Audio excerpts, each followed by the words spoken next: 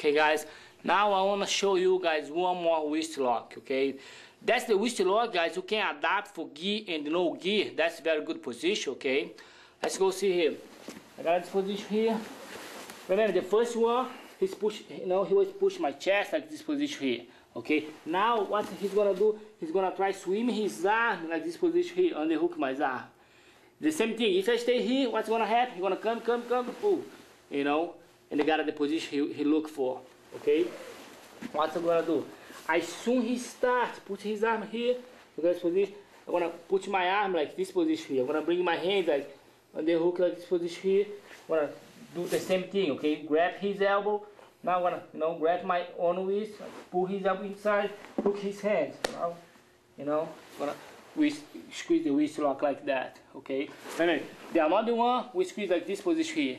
That we squeeze like this position here, okay? Let's go see one more, one more time.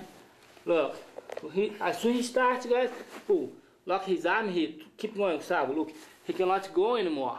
Okay, because I lock his arm here, okay, grab his bicycle. Now what's gonna do? Drive his elbow down, pull, grab his elbow, switch, and pull his elbow inside. Don't let his elbow here, okay? Drive his elbow like this position.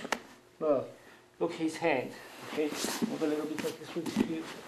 It again. Look, one, two, two.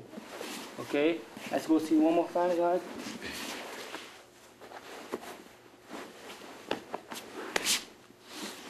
And you finish on the wrist lock.